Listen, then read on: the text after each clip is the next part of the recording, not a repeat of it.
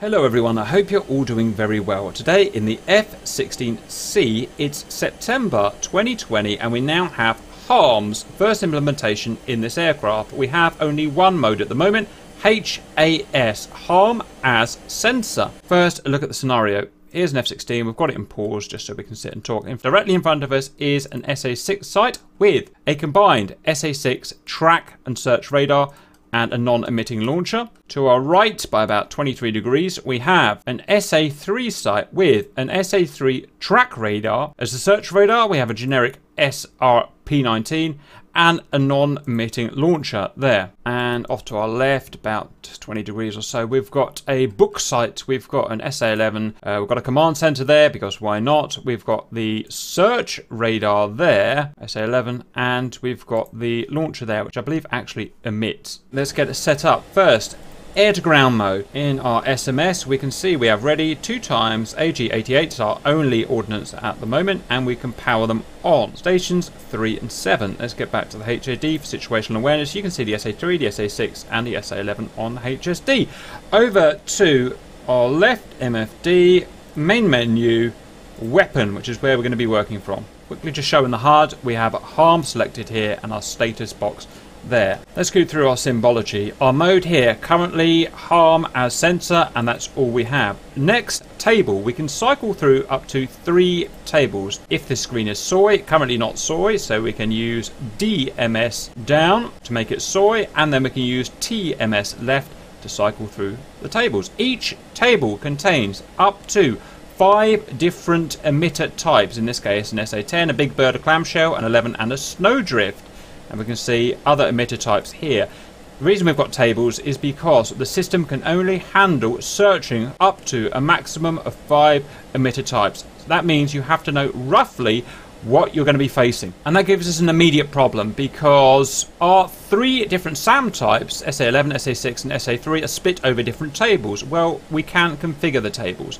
So if we go to table 3 here. We've got an SA3, we've got the P19 or a search, generic search radar there, SA6, SA2 we don't need, and the Strela 13 we don't need. So we can bring the Buk, the Snowdrift from the Buk, and the launcher emitter and put them there and there. To do that, we're going to click UFC, bring us up to the UFC. On the DED, we can show harm table 3. We can use the incrementer to go to table 1, 2 and 3 as thus. We're going to get to table 3. The table has types 1 to 5 there and a 3 digit code which corresponds to which emitter.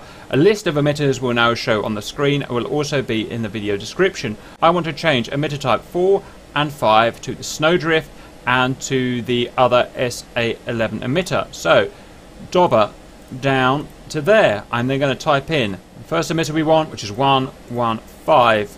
Enter, dobber down. And we're going to go 107. Enter. We're done with here now. To be expert at this, you really have to understand your different types of emitters. I mean, to be good at DCS, anyway, you have to understand your emitters, so it's just something to have to do. We've now got the SA11 emitter here and the SA11 Snowdrift here. There is another way of getting to this DED screen here. If we were to scramble it by just returning, then we could click list and we could go 0 for miscellaneous and we go 0 for harm. I don't know why you would want to do that, but you can. And notice that while we've been away, in our status box has been populated by two emitters, a SA3 on the left and a SA6 search track roughly in the center. And the key there is that it takes time. It performs several scans. Each scan takes a certain amount of seconds. To show this particular scan that we've got set up, if I went to reset scan, we can see here this scan is going to take about 90 seconds. Also, we can show here how many scans we've run. Currently, we've run 15 scans since we've been doing this tutorial. To run a 90 second scan in a modern fighter jet is a long time. You can see an SA3 is repopulated, and so we may want to optimize that search. We will go and do that in a second. Before that, we have to understand our, our kind of scope view here. This is bore sighted. This is relevant to where the harm is pointing. That's where the harm is pointing in the middle here. That is off right 10 degrees, 20 degrees, 30 degrees. Left 10, 20, 30. Up, we believe that's 10. There's no documentation for this. And down, we believe that's 10, 20, 30, 40. Again, no documentation. So we can see that picked up so far on the 90 second scan is a SA6, which is A. That means it is actively searching at the moment, but not tracking. In azimuth, it's in the center, and down, it's down 5 degrees or so. The SA3 is 23 degrees to the right and down about 5 degrees. It is actively searching, but it's not T tracking it. And we've just got a snowdrift has popped up in our 90 second search.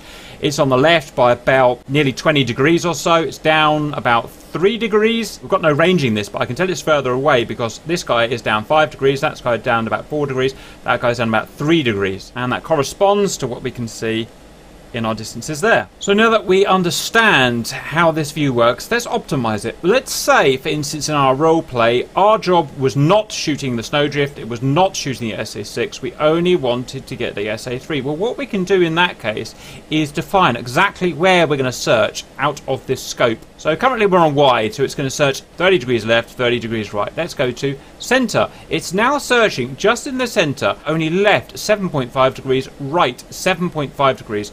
Again, those dimensions are not documented, that's just what we've measured ourselves. Note that this vertical scale has changed as well, so about 4 degrees down is showing there.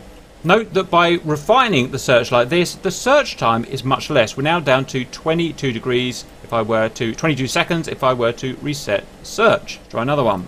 We can go to left bias. We're now just searching left of the bore sight of the harm and that's 5, 10, 20, 30, 40, th uh, sorry, 30 degrees there. 5 degree increments. And we can go right. And we're now right bias up to 30 degrees, reset the search, and it takes 44 seconds to search the right 30 degrees. And you can see it's picked up the 3A there at 23 degrees to the right. In our makeshift scenario, that's not quick enough, I want it quicker. Well, then let's filter out which emitters we don't want to look for. In this scenario, we know it's going to be an SA3 to the right, so search, filter out SA6, 11, Snowdrift, back to HAS, reset search. We've now got a 17 second search, which is about as good as we're going to get in this scenario. And this is a good time to quickly look at the buttons. DMS down to change the screen to soy, weapon release to fire the weapon, RDR cursor switch up, down, left and right to slew the cursor around. TMS left to cycle the tables. TMS up to gain a lock. So next let's prosecute and we're going to stay in right bias here just to show that we can do that. So we're going to unpause, head towards the hostile. Kinematically this missile as you all know by now, the 88, is dependent on our mothership's speed and altitude. The faster I'm going, the higher my altitude, the further this missile will go. Remember we've got no type of ranging with this missile, at least in HAS mode. We have to be clever about when to launch it. One tactic we like to do is to move towards the SAM that we're targeting wait for him to track us and or fire missile at us. Once he does that, we're pretty sure that we're going to be in range to fire at him. Is what I call the old iron hand te technique. So in this case, with the right bias, that is the bore sight. That's where a missile or aeroplane is pointing. He's currently about, I don't know, six degrees off to the right, about four degrees down. Uh, we've got a spike. Uh, the SA6 and the Snowdrift, the SA11 tracking us. I'm just going to ignore them for this example because I just want to show shooting at this uh, SA3. This SA3 is a bit of a lower range and an older system, so it may take a little longer before it tracks us. Okay. We are now being fired at by the SA6, just ignore that. Most importantly, we've been tracked by the SA3. We can tell that because we've got 3T, 3 track radar, and we can probably bet our bottom dollar that he's probably fired at us as well. So we're going to iron hand and fire at him. I'm going to unpause, check our left screen is soy, which it is. It's got the box around it. Slew to him. TMS up to lock. We know that it's pretty much on the nose because we're right biased. That is uh, our bore there. I'm going to fire. Magnum. It's Fire and forget. he has fired at us. Look. Going to turn away now. Do some evasion. Run away as fast as my little legs will carry me and try and find our missile. There he goes. Yep, that's got him. So that should bang the track radar. That's what we fired at, and that is there. An SA3 track radar. Hopefully I'm safe, and I am. That is Harm AGM88C with HAS mode at the moment. To let you know when there's any more changes. I hope that's useful, and I'll see you later.